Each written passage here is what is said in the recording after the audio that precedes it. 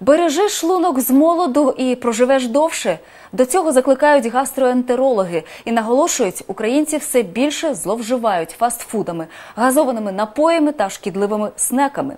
Відтак хвороби травної системи молодшають. Як не принести свій шлунок у жертву сучасному ритму життя, знає Тетяна Орлова. Ларисі Кравченко хвороби шлунку дошкуляють вже більше 10 років. Впевнена, у всьому винна екологія та щоденні стреси. Весною та восени недуги загострюються, тож у лікарів вона двічі на рік. Пенсіонерка скаржиться, здоров'я коштує дорого. Це я пролікувалася неділю. У мене практично е, пішло дуже багато грошей, навіть не хочу говорити скільки. Але щоб я за неділю я розраховувала, буду краще, але не набагато краще. Ну, ну не така, яку мене привезли, привезли сюди. Хвороби органів травлення – ознака сучасності, кажуть лікарі. Фастфуд, солодкі газовані напої, гостра та смажена їжа, солодощі – з цього сьогодні складається раціон значної кількості українців. Для організму жодної користі, а в парі зі шкідливими звичками причина недуг.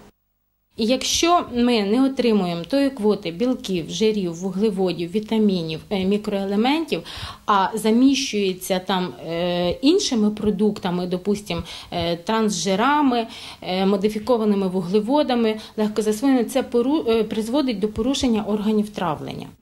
Медики змушені констатувати, хвороби органів травлення молодшають. Все частіше на прийом до гастроентерологів приходять студенти, а то й школярі. Звертає на себе увагу те, що в останній час є дуже багато людей молодого віку, які при надмірному вживанні алкогольних напоїв, жирної смаженої їжі е, мають напади гострого панкреатиту, який може далі переходити в хронічний, це в кращому випадку, а може навіть і закінчуватись тим, що розвиватися цукровий діабет після перенесеного гострого панкреатиту.